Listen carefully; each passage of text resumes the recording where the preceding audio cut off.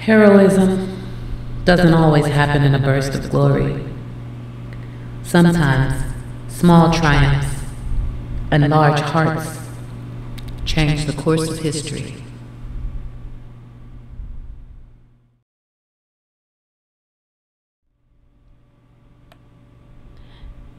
The petition reads My name is David Robinson, and I am the father of geologist Daniel Robinson, who has been missing in Buckeye, Arizona since June 23, 2021. From the first day that I arrived in Phoenix, Arizona, I have done more to find my son than the law enforcement agency whose jurisdictional authority covers where he was last seen and where his vehicle was recovered. The Buckeye PD investigation has not gathered any evidence of their own. They are unwilling to move beyond their theory, which leads to non action on their part.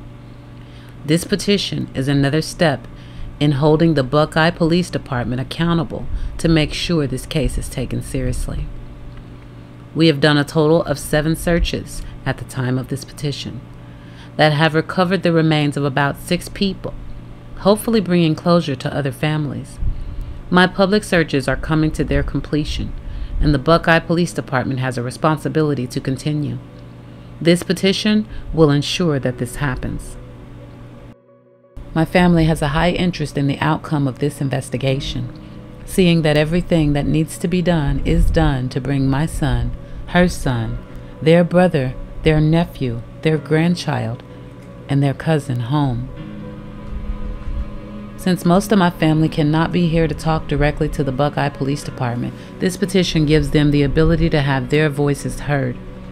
Daniel's family will feel empowered knowing that they have the community support and an agreed upon desire to see that everything is being done to find Daniel. So far in 2021, Arizona has 915 people missing. Arizona ranks number four in the country, with the most people missing each year. Organizations like NamUs, who rely on public input, have about 1,300 unidentified persons. This is without knowing the total number by the FBI's National Crime Information Center. Missing persons is a growing problem for Arizonians.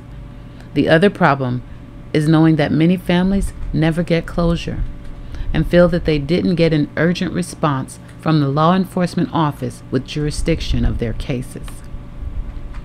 It appears that the Buckeye Police Department lacks the training to effectively conduct searches for missing persons. Hopefully, this petition can start the process of having funds reallocated to programs that focus solely on missing persons, missing and exploited children, and identifying remains found in the desert. Arizona is among unique places with natural conditions that wreak havoc on the remains of a human's body. If a missing person finds themselves in a desert situation, their rescue must be swift. Unfortunately, the police officers are not equipped, nor are they appropriately trained in rescuing and recovering a missing person. This petition is needed so that the community can move towards a solid resolution to the growing problem found in the state of Arizona. We would like to have Daniel's investigation changed from a missing person to a criminal investigation. This change in investigation status will allow the Buckeye Police Department to use the evidence obtained to seek warrants. Daniel went missing from his job site on June 23, 2021 and his Jeep Renegade was found about two miles from his said job site on July 20, 2021. Since my son was reported missing, the Buckeye Police Department has done very little. Before the vehicle was found, they did two confirmed searches that included the area where my son was last seen and where my son's vehicle would have been discovered in the future. Those two searches resulted in no findings of any kind. Since then, the public searches that I created have recovered about six human remains in the same areas that the Buckeye Police Department said they thoroughly searched for my son. With the coordination of my private investigator, my searches later recovered evidence that backs up the data taken from the vehicle's black box. The problem is, the Buckeye detectives told me that the data showed that my son was driving in excess of 30 miles an hour at the point of impact, and all the airbags deployed because of the rollover.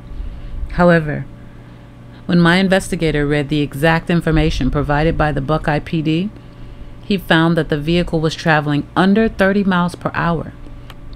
In addition, he found that the car was also cranked in excess of 40 times after the initial impact that caused the deployment of the airbags. The vehicle was driven over seven miles after the initial crash and airbag deployment. The damage on the Jeep was not consistent with where the vehicle was found, nor did it match the terrain of the desert where it was found.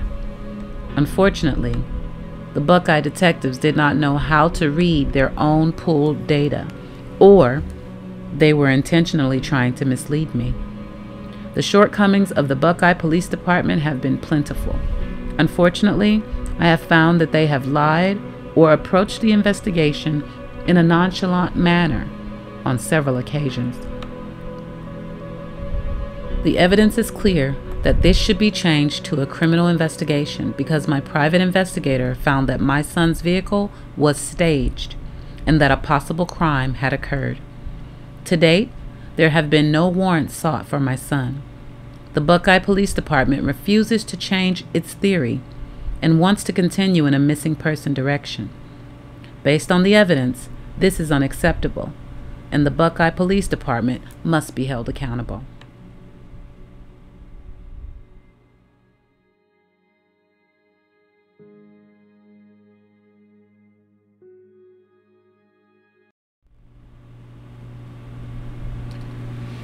Heroism doesn't always happen in a burst of glory. Sometimes, small triumphs and large hearts change the course of history.